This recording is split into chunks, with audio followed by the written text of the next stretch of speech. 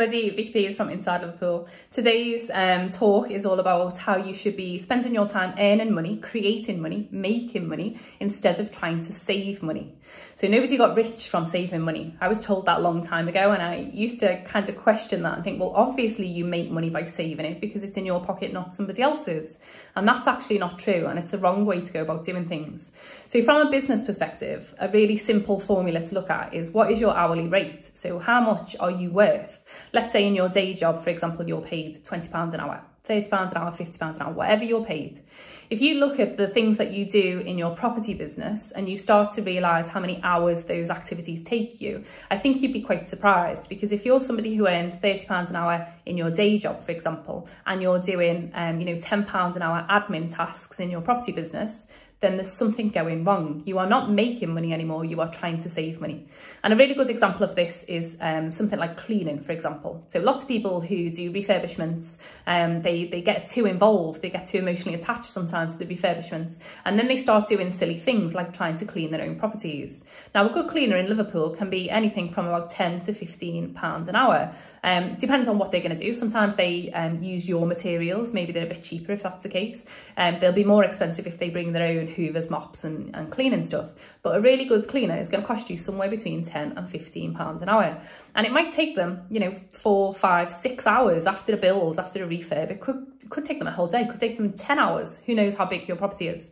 If you're going to pay someone 10 hours at even 15 pounds an hour, 150 pounds, that is money that is well spent because for that entire day, those 10 hours, you can go off and do something totally different. So if you were to work in your day job, you could do 10 hours at 30 pounds an hour. So you've made 300 and you've paid them 150. It might be that you go out looking for the next property deal. Maybe you make um, friends with estate agents or mortgage brokers or solicitors. You spend time looking at your spreadsheets. You look at how you can refinance some properties. You go and view some stuff that you might potentially want to buy. All of that is ways of making money in the future, looking at how you can get your next property deal over the line. That is going to pay you back for 25 years if that goes through. So that is a much better use of your time than trying to clean your properties, for example. You could take it one step further and say that you don't even need to view your own properties. So some people they want to come up from, um, you know, down south. They want to spend the weekends viewing properties. They stay over. They make it almost a full weekend, eight hours travel there and back, staying over in a hotel, paying for food and drink and all of those things. And their time away from their home, away from their family, away from any extra work that they could be doing to spend time with their loved ones. And that time's never accounted for. They don't stop to think how much they're worth per hour and they go out and do viewings. And it's all because they don't want to pay somebody else 65, 75 pounds to go and do some viewings. But actually, if you think about it from a cost point of view, if you'd have sent someone to do three or four viewings for you, and um, maybe that person's going to charge you £75 per viewing, maybe a bit less because they're going to do, you know, block viewings, three or four of them for you. So maybe it's going to cost £300. But what is your time worth to do those viewings? What about your petrol? It must be costing you 60 or £70 at least in petrol. What about if you've got food while you're out and about? Maybe you've stayed overnight. Um, and the time away from family, which you cannot put a price on. And um, many of us are doing this to, to so in the future, we can spend more time with our families. The irony is that you're spending too much time away from your family now um, for this fictitious future that may or may not happen because um, you're too busy doing the thing over there. We don't know how, um, you know, how things are going to pan out in the future.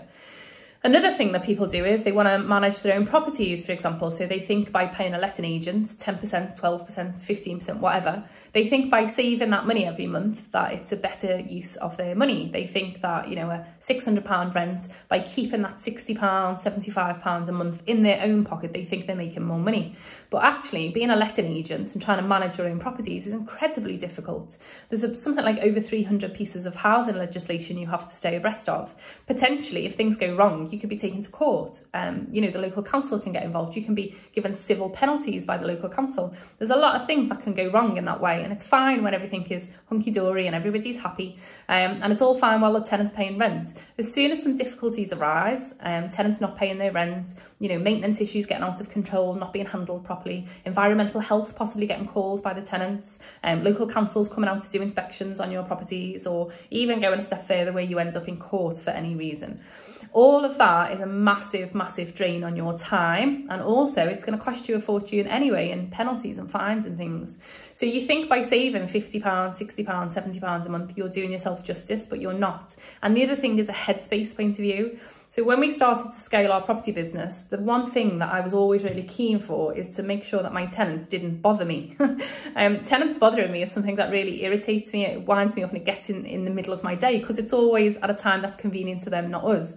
And so one of the first things that we tried to do was build in processes so tenants had a system for how they contacted us. So they couldn't just call my mobile at, you know, one o'clock in the morning. There was a system, a process. They had to work out how much of an emergency it was, for example. We also had pre-recorded videos that each tenant had. So if your boiler lost pressure, for example, there was a video for how to put the pressure back into the boiler. Um, there was a video about the electrics, you know, if something funny went wrong with the electrics, how you could knock the trip switch again and put your electrics back on. And there was a few things like that, and that worked for a while, but then other problems started to happen. We also thought by doing full um, refurbishments on the property, there'd be no maintenance issues, but there is. There's, you know, there's some snagging issues sometimes. Things like we had new fire alarm systems installed in one property, and they were a bit um, like glitchy. They were going off at random times of the day and night, for example. So all of that was taking up headspace. And what I realised was while I'm devoting headspace to these activities, I'm not able to focus on money making activities over here. I started to think that I wasn't ready to buy more properties because I couldn't even handle the properties I had over here. And I got myself into a bit of a um, kind of a downward spiral where I was focusing on these too much and not focusing on these and outsourcing this bit to more qualified professionals. So I can fill that bit of paperwork in. I know exactly what that means. I'll issue a section 21 or a section 8 and things like that. And actually it was better use of my time um, to employ experts to do those things, to pay somebody to serve that notice or to hand over to a letting agent.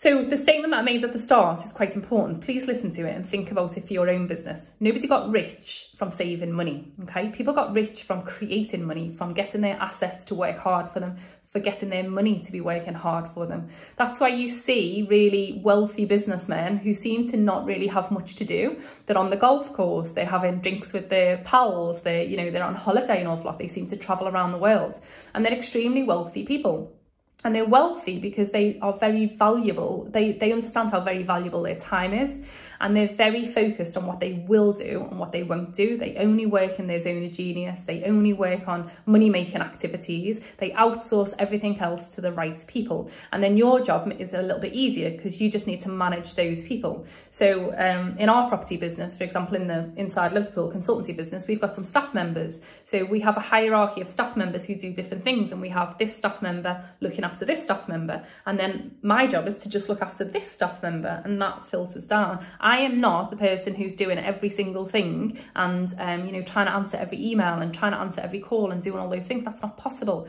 There's a finite amount of hours in my day. And so as soon as you start to scale and you employ somebody to do this task or you outsource to a freelancer or you outsource to somebody who's self-employed and you start to build these layers within your business so that you end up sitting up here as a leader, as a manager, and you're overseeing things. And yes, you do have to have headspace for these things, but you also will have systems and processes and people who are more experts at those things. So Emma, for example, is my is my walking diary. There's no way I would know where I was supposed to be um, without Emma's input. She manages my diary and looks after all of my time she divvies things up so that things fit in with what I'm trying to do that day or what I'm trying to achieve. And without that, I would constantly be worrying, thinking, where should I be? Am I late for an appointment? All of those things. And so um, it's really important for me to kind of hand that over to someone who's much better at it. Emma is way more organised than I am. If anybody knows me, you'll know that I'm a bit of a chaotic mess in the background. Emma keeps things organised and that's how a business needs to be run. That's not my area of strength, that's hers. And so in your own business, you need to think about where you're um, losing money because you're actually trying to save money and you're spending time on the wrong activities, the wrong tasks. Go and figure out who you can outsource to, who you can leverage expertise from, who you can hand stuff over to. And it's quite um, from an energetic point of view, it's quite nice to just be able to let go of these things. And if you're a little bit like me, you'll find it really hard to begin with. You know, handing things over to other people is a, is a block that you need to get over because you can't be in control of everything all of the time. And I started to realise at the start of this year, particularly start of COVID, that my family was the most important thing to me. That, that's exactly why we were setting this business up. So if family is really important to me, why on earth was I working 12, 14, 16 hour days sometimes away from the family who were just there in the next room? It made no sense. And I started to hand stuff over as much as I possibly could because I had to spend the time now with the family because who knows what the future holds, who knows how long any of us have got here together. So please go and have a little check of yourselves, um, a little word to the wise about, um, you know, trying to earn money instead of trying to save money. That's how you're going to become more wealthy. Hope that was helpful. Drop some comments below and I would love to hear your point of view on this. See you soon. Thank you so much for watching today's video. Um, if you've liked it, please do drop it a like below um, the video. Apart from boosting our ego, it also tells us the kinds of content that you're finding useful. And we want to produce good quality content to suit the needs of our audience. If you've got any questions or any comments or anything you want to say, obviously you can do that in the comment section below as well. Please do subscribe to our YouTube channel as well because once you're a subscriber, you'll be alerted every time we upload a video, which is once or twice a week. If you've got a Facebook account, um, then please do also follow us on Facebook. We've got a Facebook page, but we've also got a number of Facebook groups. We're on all the social media platforms, but Facebook is the place that we like to hang out the most. If you think you'd like to work with Inside Liverpool on a closer level, then please do find um, details of all the things that we offer on our website. Our website is www.inside-liverpool.co.uk. That tells you all about our services and exactly how much they cost, um, and you can find out more about how we can help you and how we can tailor our services to you. But if you're ready to make that step forward and you want to start working with us, then please do drop us an email. It's hello at inside-liverpool.co.uk. Email is our preferred form of communication and we always try and get back to people within a couple of days. Have a really good rest of the week and I'll speak to you all very soon.